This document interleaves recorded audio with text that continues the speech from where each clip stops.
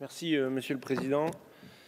Messieurs les rapporteurs, Madame la Ministre, donc c'est à nouveau, de manière constante, vous l'avez remarqué, euh, une motion de rejet préalable qui est déposée euh, par notre groupe et défendue par moi-même puisque nous nous opposons à ce texte. Ce texte, c'est deux volets.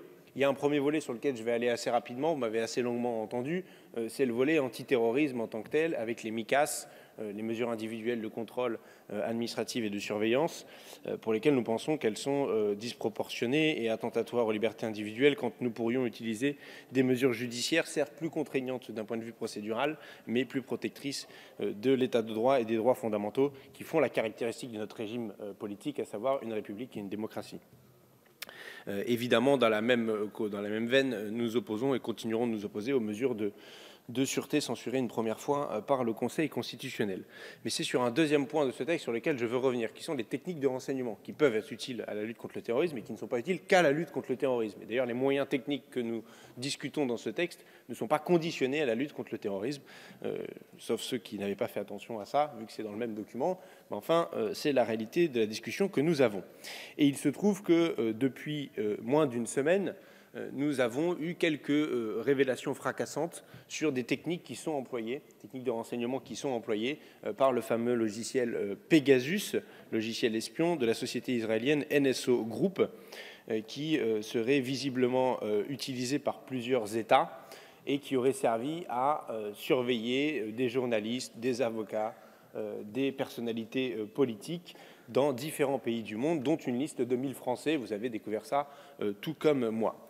Et ce, scandale, puisque c'est en est un, à mon avis, de la surveillance euh, d'un certain nombre de personnalités, dont mon camarade euh, Adrien Caténins, ici présent sur, sur nos bancs, montre qu'en plus, ce logiciel a la capacité technique depuis, de ce que j'ai lu dans l'article du Monde, au moins 2018-2019, euh, euh, de pouvoir infecter un téléphone sans qu'il y ait besoin de cliquer sur un quelconque lien, et donc avec une infection qui est totalement, tout à fait et totalement invisible et indétectable, puisqu'il n'y a pas besoin d'action humaine euh, sur, euh, sur le téléphone de son utilisateur pour que le logiciel soit opérant. C'est d'ailleurs WhatsApp, hein, les, ingénieurs de WhatsApp, ce qu'on apprend dans l'article du Monde, qui avaient découvert cela et qui ont eu la confirmation que c'était bien NSO Group devant l'infection de plus de 1400 comptes utilisateurs de, de WhatsApp. Et qu'est-ce qu'on apprend? On n'apprend pas grand-chose de la part de la bouche du gouvernement, et c'est pourquoi je me permets d'interpeller la ministre Auban Marlène Schiappa, puisque dans la fameuse liste des 1000 Français, euh, il y a quelqu'un qu'elle connaît bien a priori, puisque euh, c'est le ministre Gérald Darmanin, euh, qui fait partie euh, de, des, cibles potentielles. Je ne sais pas si son téléphone était effectivement euh, infecté, puisqu'on a vu qu'il y avait une différence entre ceux qui pouvaient être ciblés et si les téléphones étaient infectés ou avaient été infectés. En tout cas, ça permettait d'accéder à l'intégralité du téléphone, comme si la personne était elle-même l'utilisatrice, pouvant se servir du micro, de la caméra et aller sur n'importe laquelle des applications, y compris de messagerie cryptée, comme si c'était l'utilisateur pour lire les messages, tout simplement. Ce qui est un peu troublant, désarçonnant euh, et euh, je, dirais même glaçant euh, dans, les circonstances. Plusieurs questions se posent. Dans la liste, il semblerait qu'il y avait le, chef de l'État, Emmanuel Macron. On nous dit qu'un conseil de défense exceptionnel va être réuni sur le sujet. Je suppose que la délégation parlementaire au renseignement est aussi saisie sur le sujet.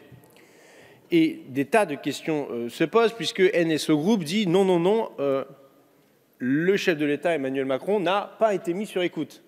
Alors qu'en théorie, ce n'est pas NSO Group en Israël qui, met enfin, qui espionne les téléphones, c'est le, logiciel utilisé par les États tiers, pour lesquels elle n'est pas censée avoir accès aux, surveillances et à l'espionnage. Donc il y a un imbroglio là-dedans. Euh, certains accusent le Maroc, disent que d'autres disent euh, que le Maroc euh, a servi surtout d'intermédiaire Est-ce que le Maroc a servi d'intermédiaire à nos propres services de renseignement qui ne peuvent pas, a priori, au regard de la loi, utiliser ces techniques Donc cela soulève à nouveau les questions des techniques de renseignement et de ce qu'on veut bien nous dire qui existe et qui n'existe pas.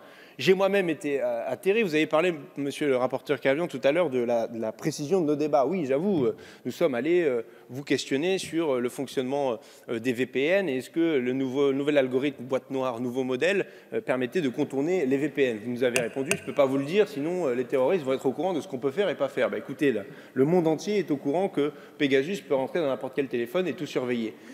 Que faites-vous? En la matière Ce texte ne prévoit rien et ne prévoit rien pour pour protéger, je conclus, euh, Monsieur le Président, pour protéger nos propres ressortissants français, notre propre chef de l'État, notre propre gouvernement, nos propres leaders politiques. Et je crois que ça devrait interroger sur tous les bancs de ce que nous, sur les sujets sur lesquels nous discutons et que nous votons.